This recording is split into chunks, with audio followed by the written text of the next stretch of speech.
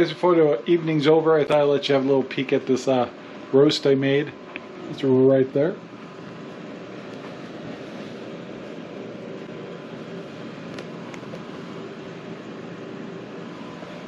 That's my glamour shot. And uh, if I remember, I'll cut it open and we'll see what it looks like.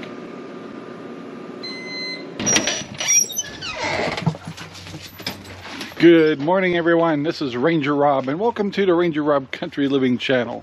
And this is the extension of the video I did yesterday, which I was cooking it's gone. the Traeger, we made a beautiful sir sirloin roast, came out beautiful. Uh, it was kind of out of the blue, decided to make that just because it, it was such a beautiful looking roast that I saw at the store the other day and uh, came out really good. Had a big old baked potato. And uh, when Sherry got home she got a good dinner. And today is a cloudy dreary day. We uh, hopefully if the weather hangs in there enough I'll get the rest of the uh, chicken wire done on this uh, chicken tractor uh, but in the meantime, you know the old routine. Uh, we do have to go get some eggs and uh, feed the piggies and check on the chickens. So let's get going on that. Well, just check the eggs. Did pretty good, about, I don't know, about 15. That's a good thing. And uh, once again, we hide these up here to keep away from cinder. There. And uh, I've got some noisy little piggies over here. These guys are quite the characters. They never squeal or really even grunt until they're hungry. Here they are. Hi guys. What's up? You guys hungry? The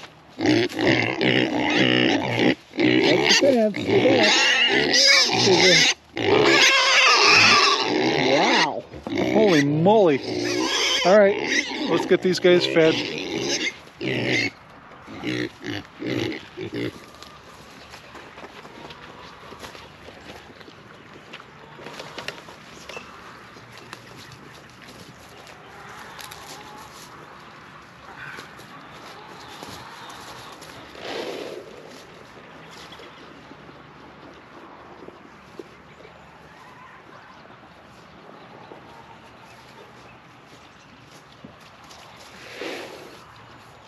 I also notice I'm starting to get a uh, green and a red blinking light on here, which means I need to charge it up. So that's what I keep this box here for, is to uh, keep things dry. And I do have a power cord out here, so we're gonna hook this up and get it all charged up really good. Well, I checked the greenhouse, everything's looking pretty good there. Still didn't find my uh, praying mantis. Where you went. But uh, it's kind of funny. I was kind of thinking about things today. And uh, I think I was on Facebook. And uh, sometimes you're kind of curious, like, whatever happened to some people that you used to hang out with? And uh, being 60, a lot of things have happened in my life from craziness from school, uh, being a square dance caller like I showed you the other day, uh, having people that worked with us, uh, starting businesses, growing through aerospace company uh, with my career there. And uh, it's funny how all your high school people you used to hang out with typically uh, go by the wayside. I don't know a lot of people that still hang out with people that they uh, went to high school with. Uh, see, some of the names I can remember is Dan Whitaker, Dan Davis, Kerry Whitaker, um, Jim, and try to remember their names from back then. Uh, Jim Wilson, uh, a few folks like that. Then uh, uh, during our square dance days, there was a bunch of people we worked with, uh, with the preteens that we used to uh, be advisors and stuff like that. And, and uh, a lot of us went our different ways, different ideas, and uh, uh, over time, you know, there's no way you could do what we did back in the 80s. Kids are different now. Uh, but, you know, there was a lot of folks we work with. Probably the one that we missed the most is a, a gentleman that was, uh, uh, we kind of continued connect, connecting for a few years after our 20s. Um, his name was Dan Davis. Uh, it's kind of special to our family. Uh, he actually was a uh, godfather type thing to our kids for quite a while. Uh, but times times moved on. Not quite sure what happened to him. We'd love to hear from him again, just to see how he's doing. Because even my kids still to this day say, "Whatever happened to him?" he had a daughter who's doing really well. I think she just started. I think that's what got me thinking about. It. She started a a mobile uh, horse transportation company because I know she had a real enthusiasm from horses from her mother and father really had a nice little place out in Enumclaw. and you know through the years uh, people drop off uh, Don Carico uh, was somebody we used to enjoy being with. Used to go hunting a lot. Um, and uh, he still uh, says hello once in a while stuff like that. And uh, he was actually pretty close with Sherry's father. And uh, we're uh, uh, happy for him and we'd love, love to hear from him more. And let's see. Of course we got all these new acquaintances. Probably my closest person I really appreciate is George Guzman uh, which you'll see him on some of our podcasts also John Smith has turned out to be a very good friend he also runs a podcast. And uh, I used to own radio stations and stuff like that. So a lot of times acquaintances were people that just wanted something from you. But after I shut that down, it kind of showed to me the people that we really connected as friends. And uh, so now we just still try to help each other. Uh, but it's my uh, I was a real gung ho person as as young. I'm still gung ho, but not as much. I don't have as much energy as I used to have, and uh, sometimes that's intimidating. It gets people uncomfortable because you just want to strive and do things and and dream and and start businesses and stuff like that. And other people just like, I'm gonna stay in the matrix. have fun, Rob. Um, and when it comes to risk and uh, sticking your neck out for a dream, it's not for everyone. And uh, understandable. you know, people just don't want to make those kind of risks. And uh, I just kind of wonder sometimes if those people right, go through life wondering, what if I would have done that? I know we had some crazy dreams back. We actually tried to start, I tried to start, and had some people involved in it, but they bailed. Scared the hell out of them, and I was probably too aggressive. Uh, play, we started a business, or tried to start a business in 1980 called Zoom Video and Photography. I have to laugh about that. It was way ahead of its time. it, you know, it was when video cameras first came out, and I thought photography would be a nice, nice mix.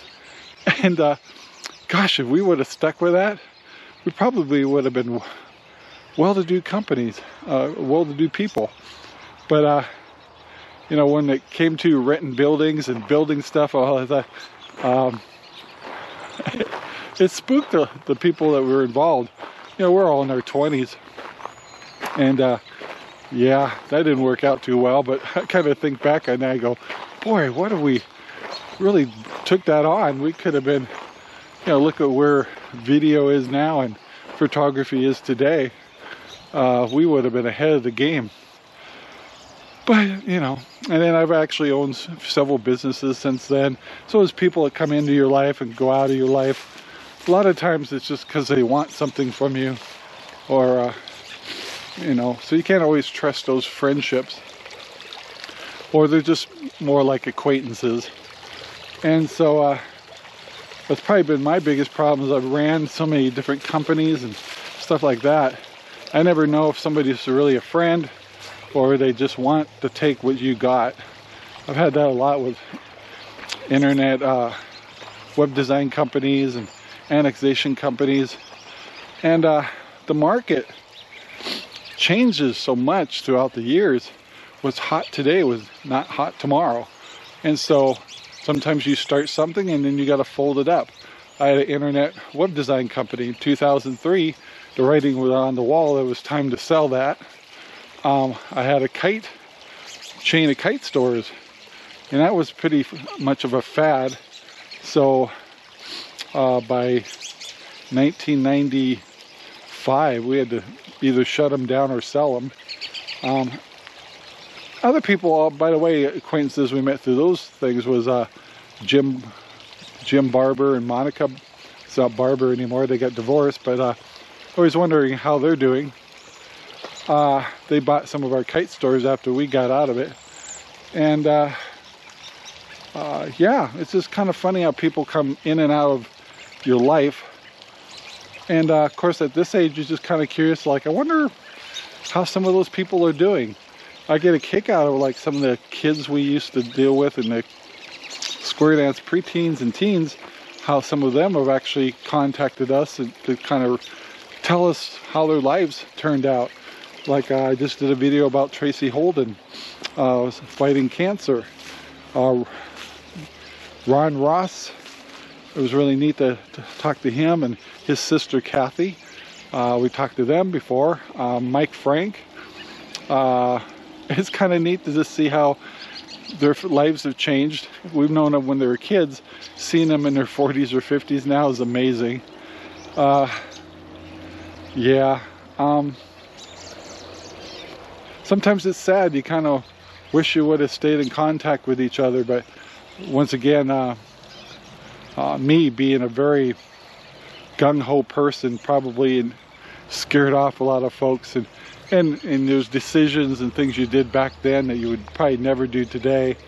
And uh, the world was uh, gosh wild and crazy back then. There were so many opportunities to do things and everything I looked at was an opportunity. Other folks just like eh, just give me my paycheck. I'm good. Or they really just always enjoyed their hobbies. Like uh, like Don Carico, he just has always enjoyed deer hunting. And uh, to this day, he's a very avid deer hunter. And uh, we've kind of drifted away from all that. So it's kind of funny. Uh, at this age, the other thing you see with friendships that go away, which we've lost a lot of good friends, is they, they've passed away. And uh, kind of a weird part of our life now where we're watching people we've known for years uh, pass away. And uh, uh, there's been people with businesses I've, that come and go that were, I thought, really great people. And uh, yeah, and family sometimes is a funny thing. Um, uh, I've gotten very well connected with my sister. Uh, she's 10 years older than me, so I always give her a hard time about being the old lady. Um, gotten much closer time is too short. Um, other friends or acquaintances of, uh, I know, through either Sherry's folks or other opportunities we've had, have come and gone too. And uh, I can't say that Sherry and I were like the kind of people that, you know, go to uh, clubs or organizations or like to watch foot. You know, we like football and baseball, but we watch them on TV. We don't go to the activities and, and having a homestead you get pretty devoted to that. So it's pretty hard to leave. So uh, but at the same time met really neat people. Uh, people have businesses here. People that have the same uh, uh, ideas for homesteading and stuff. Uh, podcast groups that we've met. Um, and uh, I'm sorry, I'm watching Belle. I think Belle found a uh, shrew. Anyway, uh, um, squirrel. anyway, it's just, I don't know. I don't know if anybody like you uh, guys ever kind of wonder about old friends old acquaintances, how they're doing. Um, to me, it's always neat to kind of just talk, and I'm sure our lives have all changed so much. Um, and uh, the only thing that's been real consistent is has always been me and Sherry. Uh, Sherry and I got married at age 19, and uh, we've been through all kinds of financial things up and down throughout the years, but we seem to manage to get through it all. Um, I'm kind of keeping the camera over here so you can see Belle's trying to catch a mouse or something. She's actually really good at it. So, uh, anyway, uh, yeah, and traveling. We also did a whole bunch of traveling in RV. Um, you know, this channel used to be RV Travel Buddy, so Sherry and I had the wonderful experience twice to go full-time RVing, go see a few things, and it was really cool. We met a lot of neat people. Uh, gosh, um, folks should, I want to say, not Monica, um, Mar Marcia from uh, we met in Las Vegas, which now live in Walla Walla, um, Washington. Uh, I can't remember her husband's name, but uh, they were really neat people. Uh, Kelly and uh, another, I can't remember their last name. Um, times go on. Uh, the other couple we really met was really cool. they ended up in Florida. And yeah, so we met a lot of neat people throughout the years. Did business with a lot of people. Did organizations with a lot of people. Um, had our ins and outs. We had our disagreements. Um, at this age, uh, don't really hold a grudge too much on some of those old things back then. Because, uh, you know, I look at my life 20, age 20 or 30, um, definitely not the same person. But I tell you one thing, I've gone through life with a lot of opportunities and things I've tried. Some I failed, some I was successful at, and I don't regret any of them because now I can go through life saying, I don't say what if that much. Um, I actually did some of the stuff I thought I'd want to try. You know, started some businesses, traveled, um, took a chance, lost sometimes, got my ass kicked. Other times, super successful. So uh, I know Sherry just says, you know, it's been quite a ride, and uh, we wouldn't, we don't regret any of it. Could we have done some of it better? Sure. Could we have uh, uh, missed opportunities? yeah.